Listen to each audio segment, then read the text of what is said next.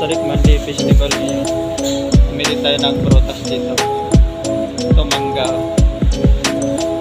Mahalang mangga dito, 75 ang